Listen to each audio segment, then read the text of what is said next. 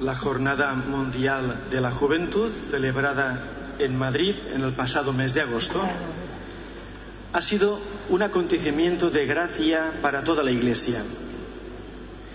Más de un millón y medio de jóvenes de todo el mundo se ha dado cita para encontrarse con Jesucristo, para celebrar la fe juntos, para escuchar al pastor de la Iglesia Universal, Benedicto XVI, para compartir esperanzas e ilusiones y para vivir el gozo de ser testigos del Evangelio.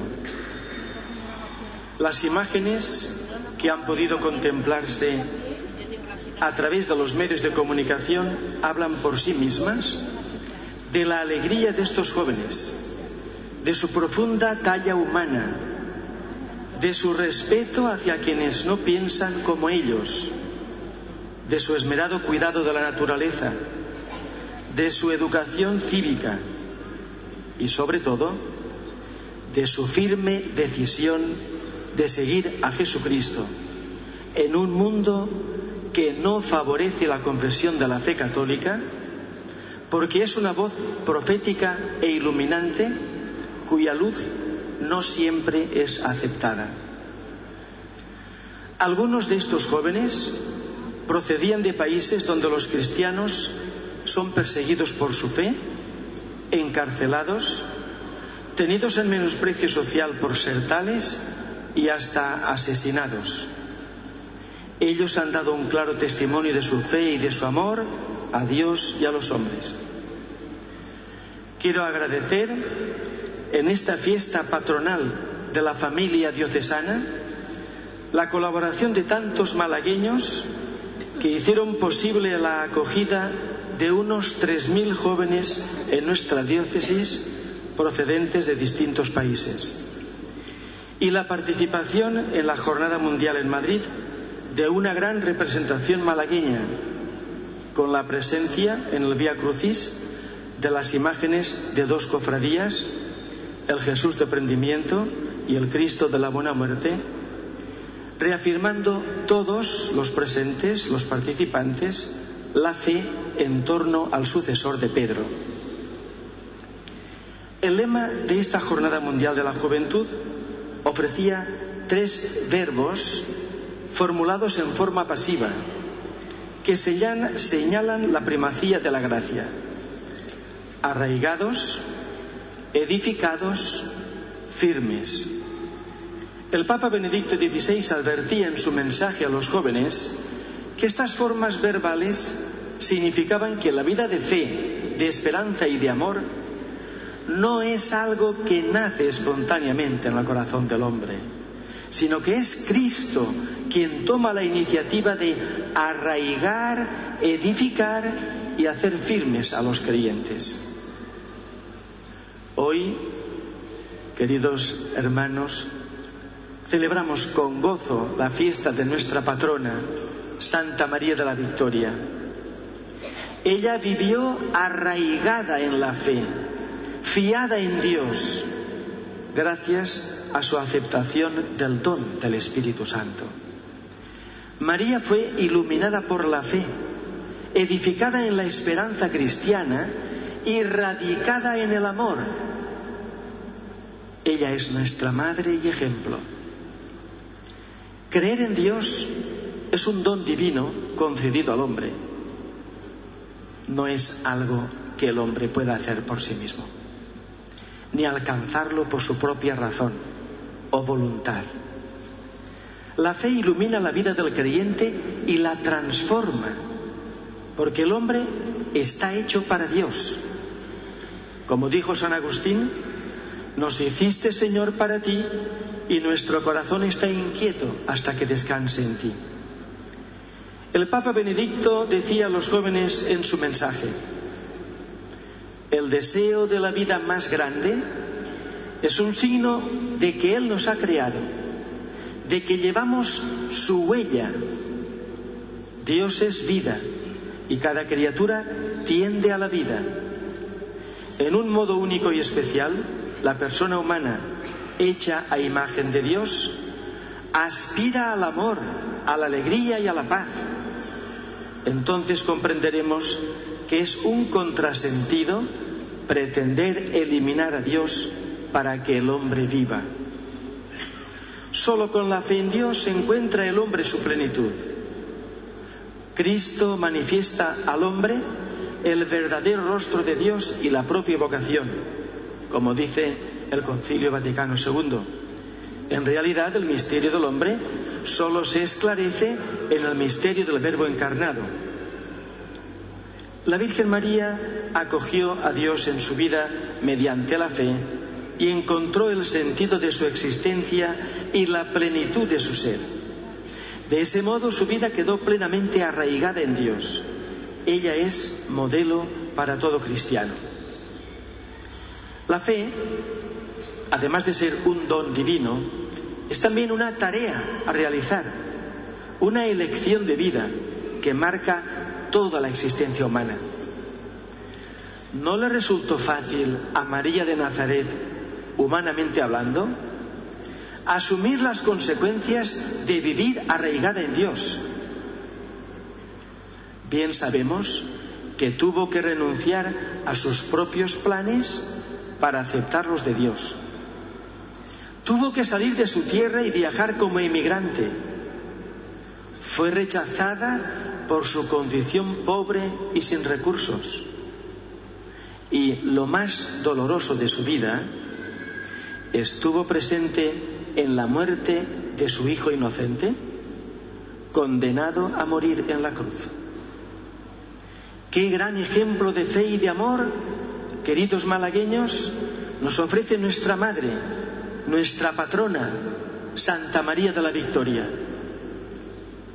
Nuestra fe está inmersa en la fe de la comunidad cristiana y es sostenida por ella. El Papa Benedicto ha repetido en diversas ocasiones que no se vive la fe en solitario, sino que el cristiano vive la fe inserto en la iglesia y camina en una comunidad. Los cristianos profesamos la fe de la Iglesia, no una simpsonada. Es un misterio de Cristo muerto y resucitado según la tradición de la Iglesia, no según devociones particulares. Y nos esforzamos en vivir el doble mandamiento del amor a Dios y al prójimo. La fe, por tanto, no se reduce al conocimiento de unas verdades reveladas, o a un aspecto secundario de la vida, sino que implica la coherencia de toda nuestra vida. El testimonio de la vida es la mejor predicación para atraer a quienes no creen. Como dijo el Papa Beato Juan Pablo II, las multitudes tienen derecho a conocer la riqueza del misterio de Cristo. Así vivió María la fe. Por ello, los cristianos tenemos que hacer visible a Cristo con nuestro comportamiento. Se trata de entender la vida y vivirla conforme al Evangelio.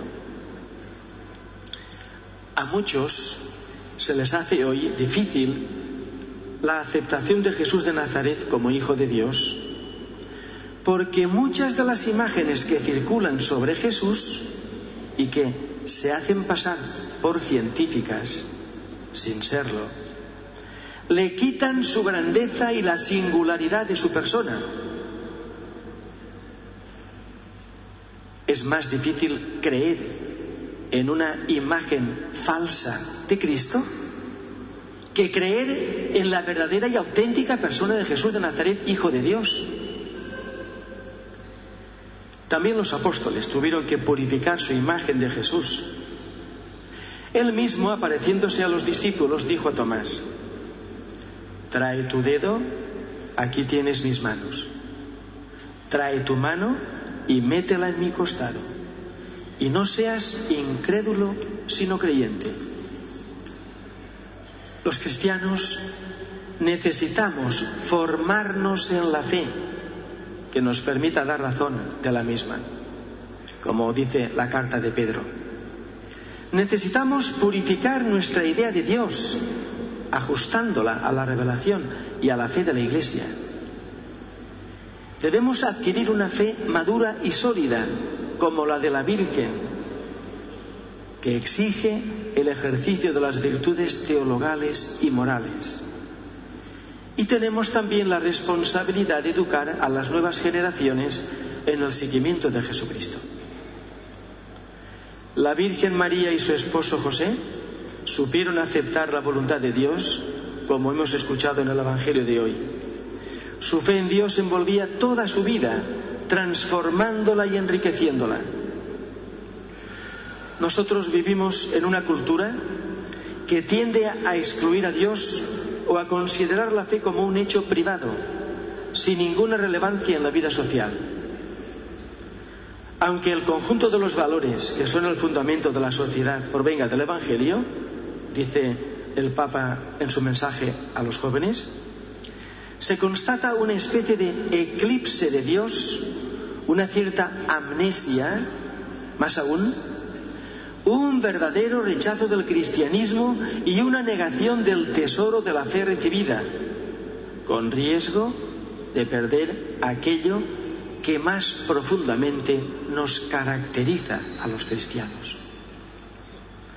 Hoy el cristiano a menudo se encuentra con que vive la fe en Dios en un contexto de olvido de Dios, en una especie de eclipse del sentido de Dios, en un laicismo difundido que elimina a Dios de la vida pública.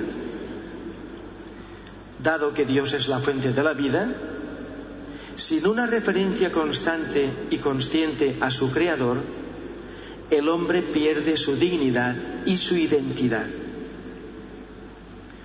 En este tiempo, pues, queridos fieles, en que nos ha tocado vivir, Santa María de la Victoria nos invita a interiorizar la vivencia cristiana como algo fundamental en nuestra vida. María, mujer de fe, arraigada en Cristo, nos anima a vivir como ella en manos de Dios. Fiémonos de Dios. Pongamos nuestra vida en sus manos. La fe no se reduce a un simple aspecto noético. La fe abarca la vida entera del creyente y toca todas sus dimensiones.